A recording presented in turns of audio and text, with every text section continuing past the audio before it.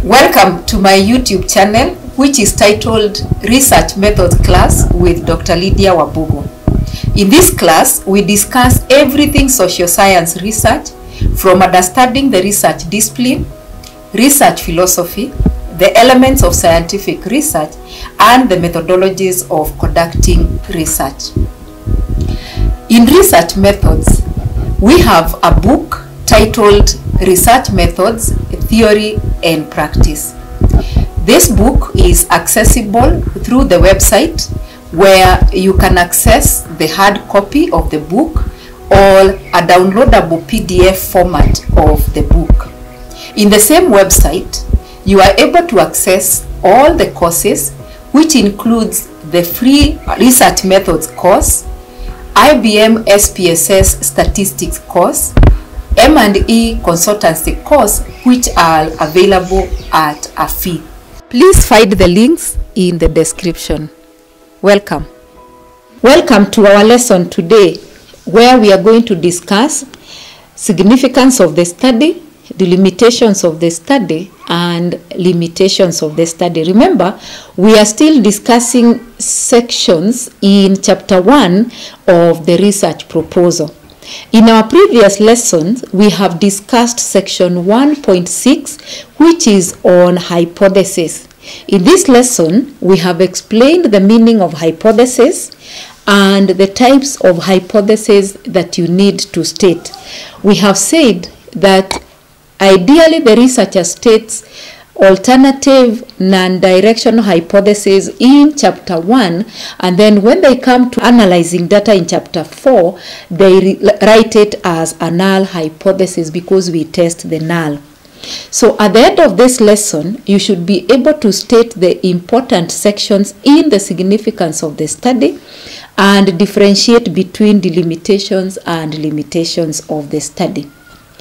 So these are the sections of chapter 1 of the research proposal. So far, we have discussed section 1.1 to 1.6. So today we discuss section 1.7 to 1.9. And just a reminder that a section that starts with one point means that it is a section in chapter 1. So that is why all these 12 sections are one point because they are all in chapter 1. So we look at section 1.7 which is significance of the study. Why do we do research? We do research because we want to solve social problems. We want to find solutions to social problems. Therefore, the problem that we want to investigate must be significant.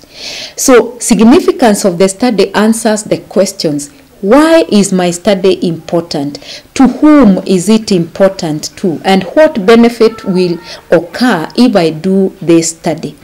So, as a researcher, you normally use resources, both money and time, to conduct research. So you wouldn't want to engage your money and your time in an activity that is not significant.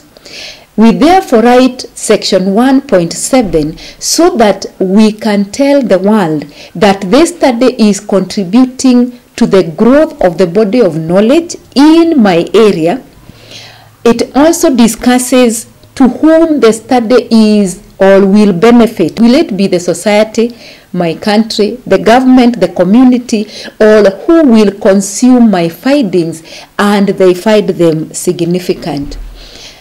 Uh, another thing that the section describes is that it also gives or explains the impact of the study to the environment, to the discipline, to education, to science and technology, etc., etc. Then we move to section 1.8, which is on delimitations of the study, and some institutions write it as the scope of the study. Now, some students confuse delimitations and limitations. Now, these two terms are not related at all. When we talk about delimitations or the scope, delimitations means the walls that the researcher puts around their study. So, delimitation provides the researcher with an opportunity to explain the boundaries of the study.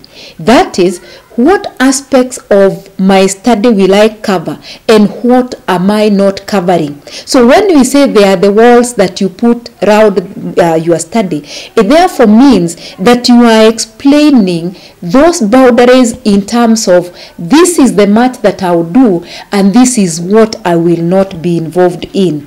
And that is why each delimitation must be accompanied by an explanation of why.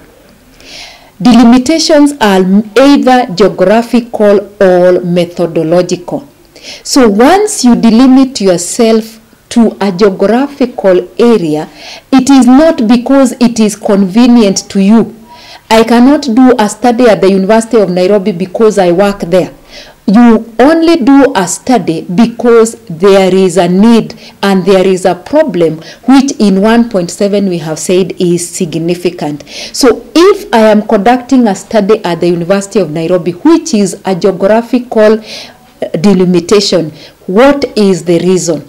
That is why every delimitation must be accompanied by an explanation of why. For instance this study aims at establishing whether there is a significant difference in performance between Bachelor of Education Science on campus and distance study students at the University of Nairobi. So the study will delimit itself to the University of Nairobi. You can see this study or this delimitation is followed by why. It will be done at the University of Nairobi because it is a dual mode university in Kenya which offers a science course through both online and distance learning mode. That is a geographical delimitation. The researcher is delimiting him or herself to a study or to carrying a study at the University of Nairobi and they have given a reason why. Now let's look at the second one. The study will be anchored on correlational survey design. Why? Because the researcher wants to establish the relationship between demographic characteristics, learning environment, and instructional methods on the academic performance of the Bachelor of Education Science on campus and distance study learners at the University of Nairobi. That is a methodological delimitation. The researcher is using a method and the method or the design is correlational they did not select the method just for the sake. There is a reason why they did not use cross-sectional survey, but they want to use correlational survey. So please remember, every delimitation whether geographical or methodological, must be accompanied by an explanation of why. And we don't do research out of convenience because it is near my place or because it is where I work or because it is convenient to you. We do research because there is a problem. And finally, we look at limitations of the study. Now, limitations are the unforeseen factors that are likely to hinder the investigator from carrying out his or her study as planned. So these unforeseen are likely to hinder you as a researcher from accomplishing your objectives and they are unforeseen. And these factors may include changing weather conditions, changing political climate, you know, there can be chaos, the issue of language, all those are limitations. Now, why are they limitations? Because you may go to the field, there were, were no tension or there was no tension in that area, but during your data collection, tension may arise. So, what will you do so that your study is not affected and so that you are still able to achieve your objective? That is why a limitation must be followed by an explanation of how. This means the measures that the researcher will put in place to ensure that the stated limitation does not hinder the success of the study. So now you can see there is no relationship between the limitation and limitation. Again, the researcher must be very careful not to invalidate his or her study by showing that the study was faced by too many limitations. And because we are saying limitations are unforeseen, there are some institutions that will require their students to write the limitations after their fieldwork, while others require them to state them before they go to the field. So it just depends on your institution. So you may write them after, or you may think through your study and come up with the limitations or those factors that you feel may hinder you from achieving your objectives. Unlike the period that we are in, when you look at the COVID issue, the COVID uh, situation, this is likely to hinder the success of the study because you may not have a crowd maybe where you may give them the questionnaire. But what will you do so that you are still able to accomplish the objective? So let's look at this example. So this researcher was able to identify two limitations. One was an cooperation of some participants because there was fear that their information will be used against them. So how did the researcher assure these uh, participants of their confidentiality? Or how did the researcher mitigate this limitation? It was by assuring them of their confidentiality. Another limitation is the language and the researcher explains that majority of the people he or she was dealing with they are only literate in their mother tongue. So how did the researcher mitigate this limitation? By engaging a research assistant who is conversant with the local language. So note that delimitation is followed by an explanation of why and it can either be geographical or methodological whereas limitation is always followed by an explanation of how and these are factors that they are unforeseen.